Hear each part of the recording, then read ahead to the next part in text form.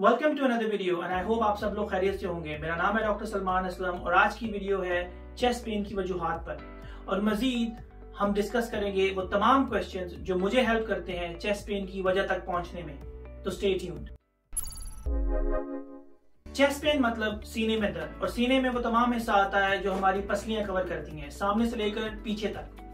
इसमें तीन main organs lung heart और स्टमक और बाकी skin muscle bone joints blood vessels और नर्व्स शामिल हैं। तो इनमें से कोई भी वजह हो सकती है चेस्ट पेन की। चेस्ट पेन इतनी कॉमन कंप्लेन है कि हर साल 70 लाख लोग इसके साथ इमरजेंसी डिपार्टमेंट आते हैं।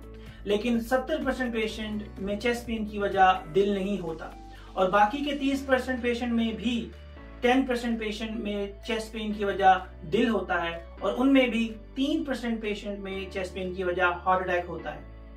तो इस डाटा से आप अंदाज़ा लगा सकते हैं कि ऑलमोस्ट 85 परसेंट पेशेंट्स में चेस्ट पेन की वजह नॉन कार्डिक कॉजेज होती हैं। सबसे पहला सवाल कि दर्द की एग्जैक्ट लोकेशन कहाँ है? आखिर ये दर्द हो कहाँ रही है? कोशिश करें कि आप अपने डॉक्टर को जितना एक्यूरेट बता सकते हैं, उतना एक्यूरेट बताएँ। मसलन दर्द सेंटर ऑफ़ द चेस्ट में है लेफ़्ट साइड पर है राइट साइड पर है जॉ या नेक में है शोल्डर्स पर है या बैक पर है। दूसरा सवाल कि ये दर्द कब और कैसे शुरू हुई और क्या उससे पहले भी कभी आपको ऐसी दर्द हुई थी? मसलन ये दर्द कुछ घंटों से है या कुछ दिनों से है? शुरू में ये हल्की थी और बाद में सवियर हुई या ये दर्द शुरू में ही सवियर थी? और क्या आप अपनी पेन को फिंगर पॉइंट से पिन पॉइंट कर सकते हैं? तीसरा सवाल कि आखिर ये दर्द है कैसी? अब हर किसी का दर्द को एक्सप्लेन करने का तरीका डिफरेंट है। इस सवाल के बेसिकली दो मानी हैं। एक, कि दर्द की शिद्दत कैसी है? जैसे अगर आपको बोला जाए कि जब पेन पीक पर होती है तो आप इसे दस में से कितने नंबर देंगे? जैसे हल्की है तो अप टू फोर दरमियाने दर्जे की है तो अप टू सेवन और अगर सात से ज़्यादा है तो ऐसी दर्द को हम सवियर दर्द कहते हैं, या शदीद दर्द कहते हैं।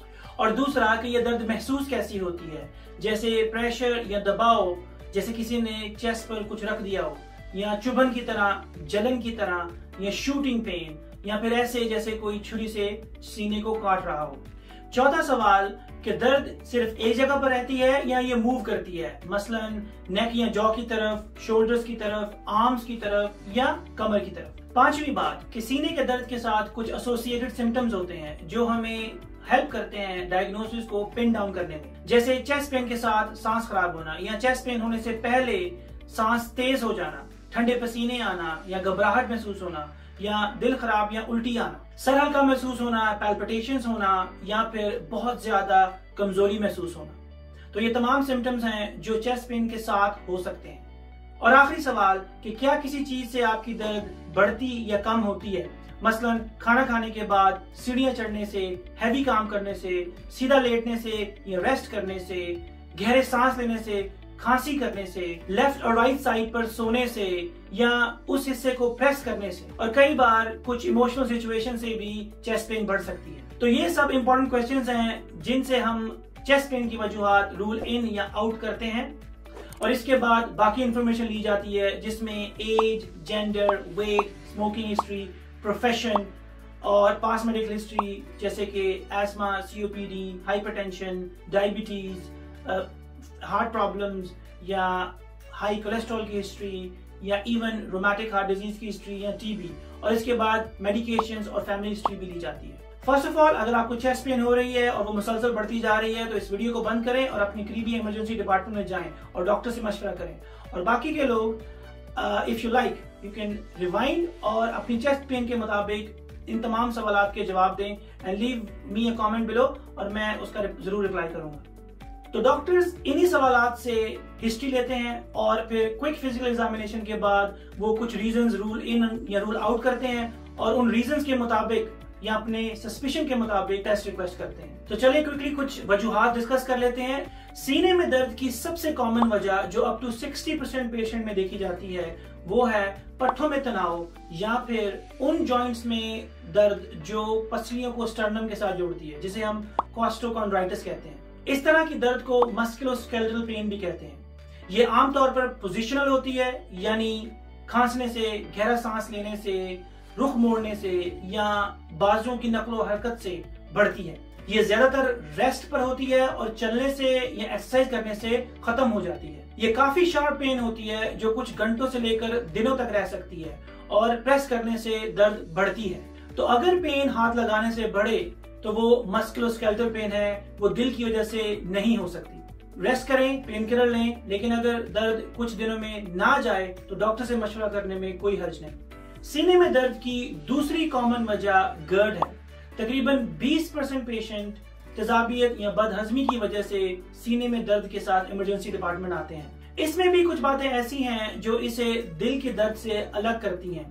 जैसे कि ऐसे पेशेंट्स अक्सर सीने में दर्द के साथ जलन की कंप्लेन करते हैं और इन पेशेंट्स में हमें तजाबियत की हिस्ट्री अक्सर मिल जाती है। ये दर्द ऑयली स्पाइसी या मीठा खाने के बाद शुरू होती है और कुछ पेशेंट्स में ये मतली या उल्टी भी कॉज करती है। एक ज़रूरी बात, अगर मतली या तजाबियत चलने या भागने के बाद महसूस हो तो वो गर्ड नहीं। अगर ऐसा है तो एक बार अपने डॉक्टर से ज़रूर मशवरा करें। बाकी, अगर सीने में दर्द, गहरा सांस लेने से हो और प्रेस करने से दर्द ना हो तो ऐसा दर्द ब्लड क्लॉट यानी पल्मोनरी एम्बुलिज्म की वजह से हो सकता है।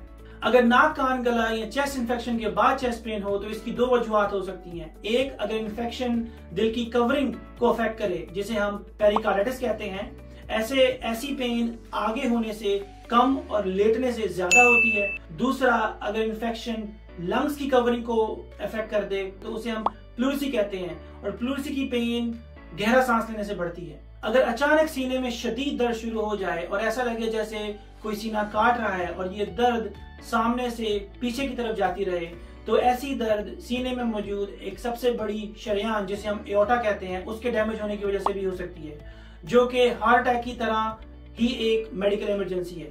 तो please guys don't ignore your chest pain specially अगर वो अचानक शुरू हुई है और वो मजीद बढ़ती चली जा रही है। लास्ट में एक इंपॉर्टेंट पॉइंट जो यंग पेशेंट्स में ज़्यादा देखा जाता है, वो है chest pain due to stress and anxiety लेकिन अगर रिस्क फैक्टर्स हैं और टिपिकल हिस्ट्री है तो इन पेशेंट्स में भी कुछ बेसिक टेस्ट करने के बाद डिसाइड किया जाता है कि ये चेस्ट पेन स्ट्रेस या एंजाइटी की वजह से है। स्ट्रेस में बॉडी स्ट्रेस हार्मोन रिलीज़ करती है, जिसकी वजह से दिल की धड़कन तेज हो जाती है।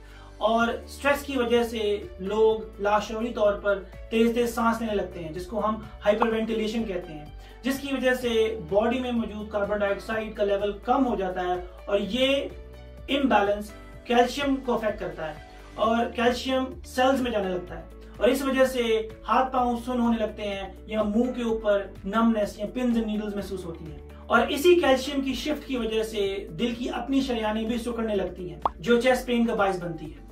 ऐसी पेन सिचुएशन नॉर्मल होने पर चली जाती है या ठीक हो जाती है। लेकिन अगर ये इमोशनल सिचुएशन किसी ऐसे शख्स में हो जिसको ऑलरेडी दिल का मसला है तो इस मैकेनिज्म के ज़रिए उसकी शरियाने सुकड़ने लगेंगी, जो हार्ट अटैक कॉज कर सकती है।